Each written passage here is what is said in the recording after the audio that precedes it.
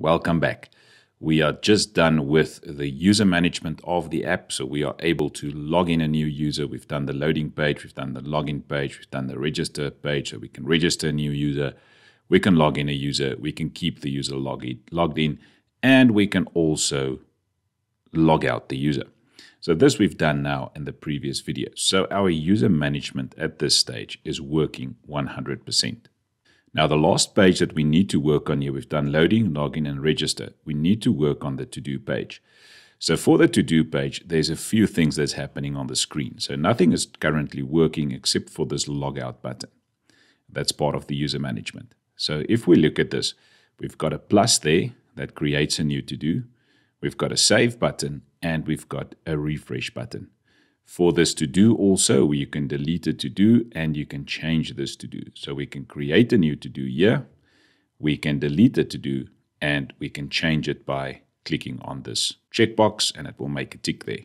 Now, if we go to Visual Studio Code and we look at the to do service now, you will see that we've got a create to do function there that we need to code. There's a delete to do, there's a toggle to do done. So these three create to do, will happen here.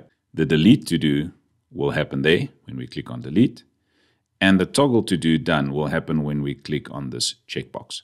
So those three you can see does not return back some sort of future value, which means these three will actually not save directly to Backendless.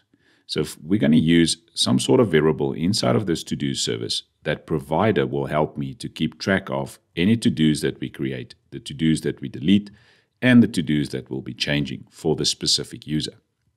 Then you can see that we've got a get to-dos function that will be asynchronous. So this we will actually go and get the to-dos from Backendless.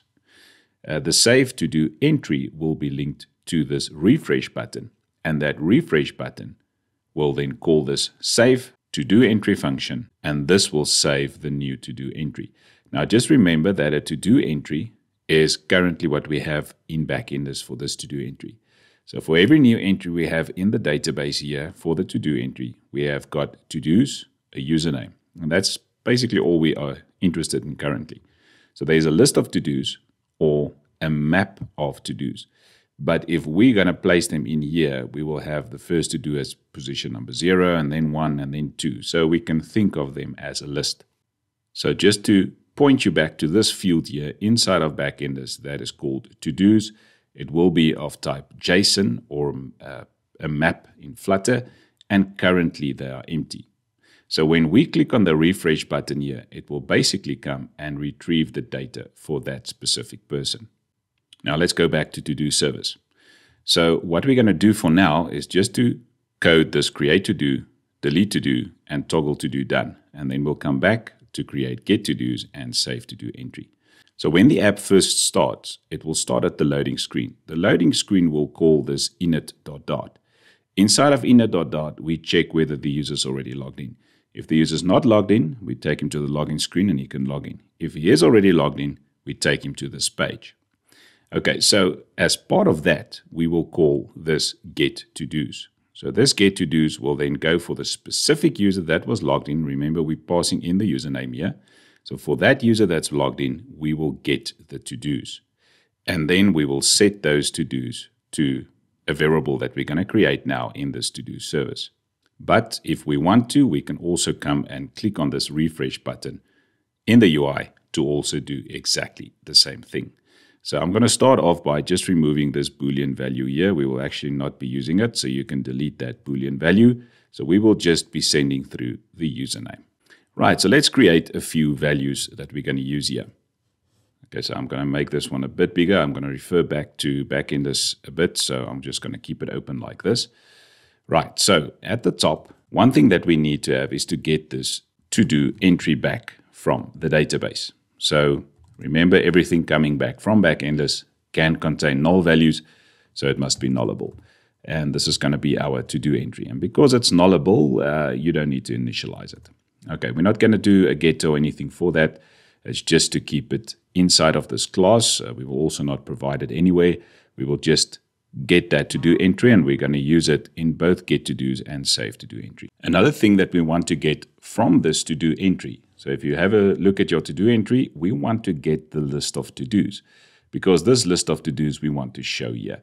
So that is why I also need to have access to that. So I'm going to have a list of to-do objects and let's call them to-dos. And for this one, it's not nullable, so I will initialize it with an empty list. And for this, I will also need to have a getter so that we can provide this somewhere later on. So get to-dos, and we're just going to get back this to-dos. And if the user wants to log out and we want to maybe empty this or set it back to its initial state again, we can just call a function called empty to-dos. And this one will set our to-dos equal to an empty list again, and we can notify the listeners. So just to recap again, we're going to get this to-do entry from the database. From that to-do entry, we will get the list of to-dos, and that list of to-dos is what we're going to show here. So at the top, obviously, we'll need this to-do entry to get the username. So there's the username and maybe get some info of that user and show the user there. Okay, so, uh, we got the list of to-dos, we can get them back and we can empty them again. Right, something we'll also need in the user interface will be to show whether it is busy retrieving some data. So let's say busy retrieving, and we're going to set that to false initially, and also busy saving. So we will be retrieving and saving data from Backendless. Okay, so we just want to show a progress bar for both those. For both of them, we'll need a getter. So I'm going to say bool get busy retrieving. And that will just send back the busy retrieving. And we'll also have a bool get busy saving. And we will be returned back busy saving. Right, so that's basically all variables that we will be using here is to get the entry. From the entry, we will get the list of to-dos. We can empty those to-dos and get them back. We've got two booleans to show whether we are now retrieving or saving and getting them back. Okay, so what I want to start with is creating a new to-do. So in order to create a new to-do, the user will click on this plus sign, you will enter the to-do and he will save. So what we want to do here is to go to this to-dos that we will have at the top. And remember, we will get this from Backendless. So this to-dos will actually have either an empty list. If there's nothing in Backendless, it will still be empty. But if there is something, it will be contained in this list of to-dos. So then we will go to that list of to-dos and we will insert. And because I want the newest elements of the to-dos right at the top, I'm going to keep on inserting at position zero at the top of the list. And I will be inserting this new to do. So we're going to call create to do, pass in the new to do that we got from here. So here we create the to do, that to do gets passed in, and we insert it into the to dos list. We will then notify all the listeners so that our list in the UI gets updated with the new value. Now let's look at to delete a to do. So for this one, we're just going to go to to dos. We're going to call the remove function and we pass in the value to remove and it's this to do that we're going to pass in. So if we want to delete this one, we will just click on that button and it will pass in the new to do that we need to remove and it will remove it from the list. We will call notify listeners to update our UI again. Then in the toggle to do done, what we want to do here, you can see we're passing in an index. Where is the value inside of the list that we want to toggle? So for this one, we will go to to-dos go to the specific index in the to-do where we want to make the change. We refer to the done property and we will set that property to not done. So that will again be going to to-dos, going to the index, going to done. Okay, so if we remember again how the to-dos look, a to-do will have a title, whether it's done or not, and a date and a time it was created. So when we click on here and we create a new to do, what will happen? We just want the title because the title we can then enter there. Done will then obviously be false, so that we set automatically. And the date and time created we get from the system. So all we need is the title there. Okay, so when we're creating the new to do, in here, when we create the new to do, it will be false. The time it was created will be there, but we only asked for the title. So when we toggle it, remember it could already been toggled before. So for that specific to do in the index, we go to the done value and we change it to not the previous value. So if it was false previously, not false will now become true. And not true will become false. So we're just changing it. Again, we need to update the user interface. So I'm going to say notify listeners. Right, so now we can go to the helper to do. And the only one I want to complete right now is to create a new to do in the UI. And you can see in this uh, helper to do, I do not have uh, one for, let me just go to user service again, for toggle the to do or deleting the to do. Because if you delete, I just want to remove it from the list. I do not want to even ask the user, are you sure? And also when they click it, it must just change. Okay, so the only one that needs maybe a bit more is when we create something here. So let's go to the helper class, which is the helper to do, and we're going to create the new to do in UI. Okay, so we're going to pass in the title controller because we only need the title. Right, so I'm going to start off and say, well, or if the title controller dot text dot is empty, if the text is empty in the UI, I will show a snack bar and the message will be, please enter a to-do first, then save. Okay, and then the else part here will be then, well, we've got some title there and we can add this now. So now I need to create a new to-do. So in order to create a new to-do, just go to the to-do service and save this one here. Let's go to to-do quickly. In order to create a new to-do, I need a title. So we've got that from the text editing controller. Done will be set to false and the date time will be set to now. So it's quite easy to create.